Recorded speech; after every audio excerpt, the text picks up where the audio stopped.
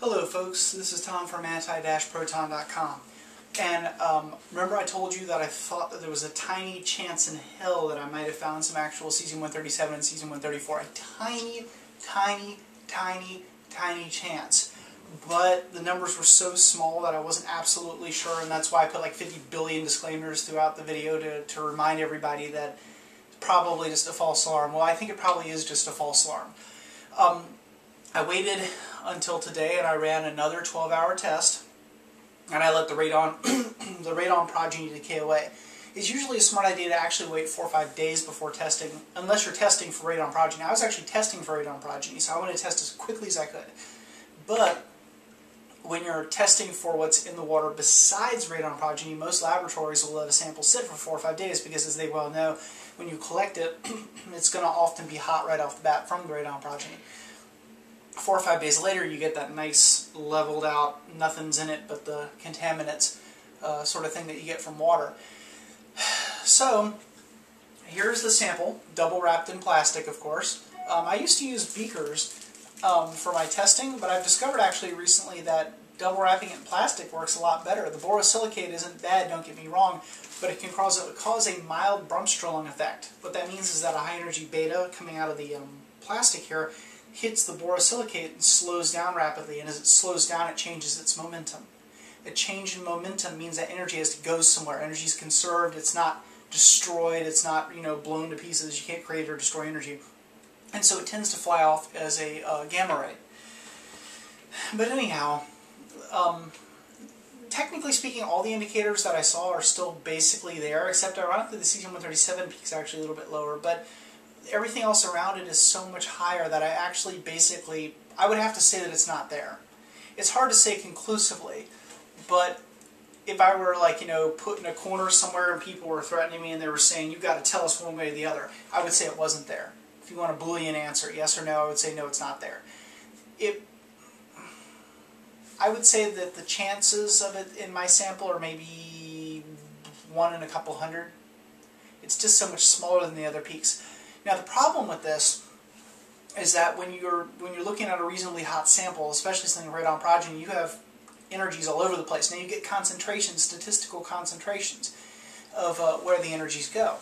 But you also get other energies, and here's the reason why. When a gamma ray comes flying into the detector with a set specific energy, if it perfectly perfectly intersects an atom and causes a, a, a, a fluorescence and you, you pick that up, a scintillation, perfectly, then you'll get an absolutely right on the right on the uh, right on the money uh, read, and you get a perfect line of energy. But that doesn't usually happen because as it's going through, it doesn't hit too much typically, but it'll reflect a little bit off of something. It'll maneuver past something else. It'll knock an electron free, and as it as it as it as it angles just ever so slightly, it loses a little bit of energy. Now, a photon cannot slow down it must move at the speed of light. Well, that's not really true. It must meet at, meet at the, it must move at the speed of light within the medium that it's in. There's actually speed of light's actually a little bit slower for certain mediums, but the absolute speed of light, of course, remains the same. Anyway, it can't slow down really. So what it does is it loses energy and its wavelength broadens. And as a result of this, you end up with, instead of that perfect peak, you end up with a little bit less, or even sometimes a little bit more and you get that shift.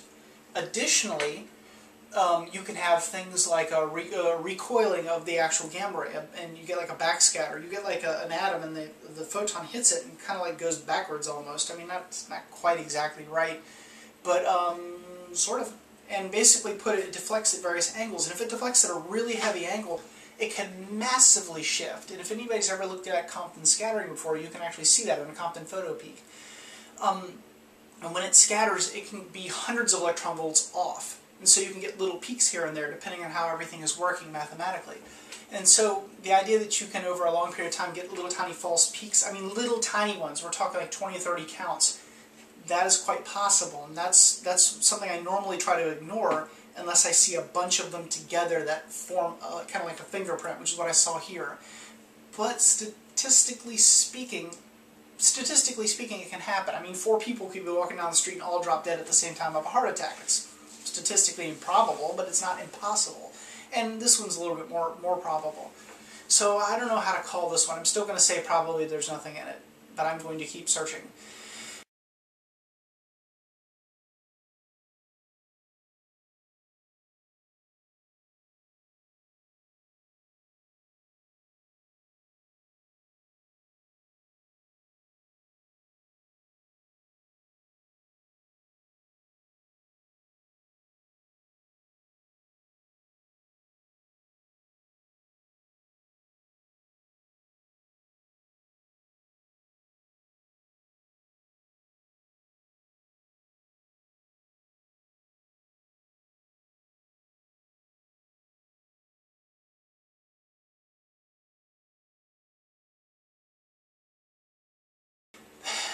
I have gotten 130 pounds of lead.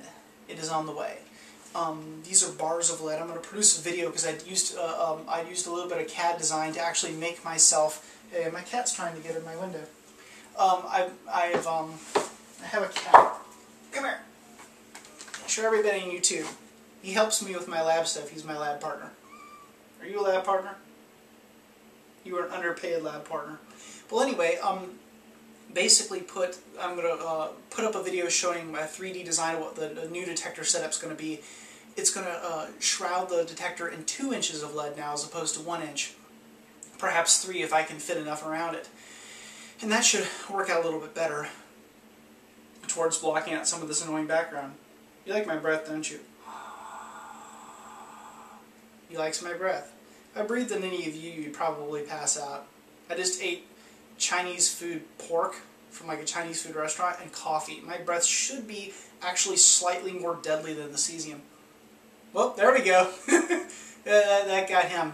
You want to breathe my breath? Nope. he doesn't want to come anywhere near me. But anyhow, so science must stand up to even itself. That means that no matter what I think I see, I must be able to prove it again. I must be able to even possibly disprove myself because that's proper science. And unfortunately, proper science is often not practiced these days. But um, my, my stuff needs to be able to stand up against itself. And if a day later it doesn't, then a day later it doesn't. And that's just the way it is. That is proper science. Don't let your ego get in the way. I don't have an ego anymore. I long lost my ego. Anyway, I have a new experiment I'm doing, by the way, too. I'm going to put some metal plates out like this. And see this, this rust? I thought about cleaning it off, but it occurred to me this rust might be a good thing. This rust might be a good feature, this oxidation. I'm going to put these outside because it's going to rain in just a really short time. A couple of these plates. I'm going to see if uh, the plates and the water have some kind of an effect. I'm trying to figure out what could possibly radiochemically account for the fact that your car seems to have um, uh, uh higher readings than the regular rain. It makes no sense. I'm actually going to use a, I'm going to use a Geiger counter for this actually for doing the testing initially. I'll probably throw it in the scintillator too. Um, Geiger counters are great for showing the amount of activity you're getting something uh, from something proportionally, mind you, not the exact activity. Uh, that's what they're that's what they're really good for, and that's using them correctly. You should use your tools for what they're good for. You know, you don't hammer a nail with a spoon, right? So anyhow, um, um, oh, and just for giggles, I thought I'd show you one other little thing. This is a one nanocurie potassium potassium source. It has exactly, uh, well, almost exactly, I guess, 37 decays per second of potassium 40. Isn't this possibly the lamest thing you've ever seen in your entire life? You could actually rip this open and pour it on your food. but anyway, um, so my readings, they're not wrong, but they had data in them that was probably the result of happenstance and statistical inaccuracy. It occurs, and it's perfectly normal. That's why whenever I see something that doesn't have a large photo peak on it, because you see a large business photo peak, it's kind of obvious what it is, but whenever I get some little tiny thing that could be something, I test it, and I retest it, and I retest it. Because if it's really what it is, that's really what it is, it needs to be able to stand the rigors of testing repeatedly, every single time. Because if it can't stand the rigors of testing, then I can't call it factual, can I? And that's why I put a disclaimer on it, because of this. And I thought it was important for you all to see this, because I want you to see that science is like this. This is how science is. This has been Tom from anti-proton.com, and um, there you go. Drist, are you in my chair How am I supposed to do scientific research when you're in my chair? What kind of a cat are you? You performing cat scans or pet scans or anything like that? I think you might need to leave. I think you're in the wrong place. You think you're in the wrong place? What a silly cat. You've probably come in here to conduct experiments and high science, haven't you? Experiments and high science. That's the kind of thing a cat would want to do. Anyway, say hello to YouTube, Good kitty.